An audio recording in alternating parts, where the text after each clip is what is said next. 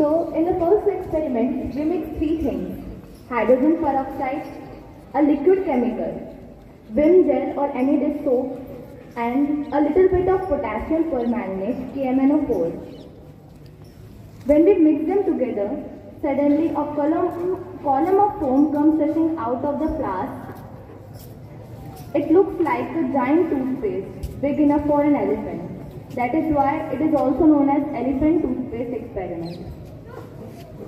But why does this happen? The reason is hydrogen peroxide H2O2 is made of water and oxygen. When we add potassium permanganate, it breaks down the hydrogen peroxide quickly and releases oxygen gas. The dish soap traps the oxygen as bubbles and turns it into foam.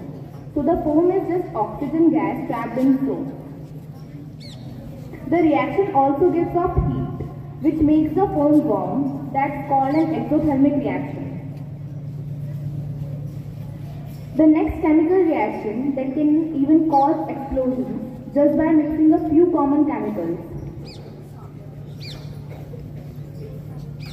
ये सामने जो साथी खड़े हैं वो थोड़ा इधर हो जाए वो बच्चे देख नहीं पा रहे पीछे से वो बड़े क्यूरियस हो रहे हैं देखने के लिए है ना It involves potassium permanganate, a purple colored chemical, sulfuric acid, a strong acid, and something simple like sugar, glycerin, or paper, all which are organic materials and contain carbon. When we mix potassium permanganate with it, they form a very strong mixture called a powerful oxidizer.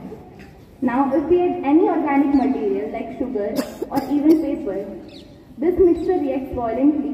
It suddenly catches fire or even explodes with heat, flames, smoke and sound.